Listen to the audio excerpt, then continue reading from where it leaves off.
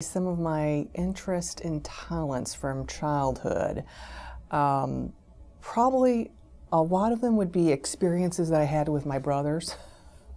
you know, and just your family dynamics and getting along and, you know, all that. How do you work together? Um, how do you take your turn? Um, you know, all those things are so, you know, they're so very important.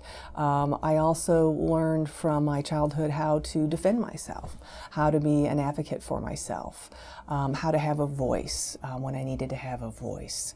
So just some of those simple things that, uh, that I learned from my childhood absolutely come kind of front and center, you know, as an adult.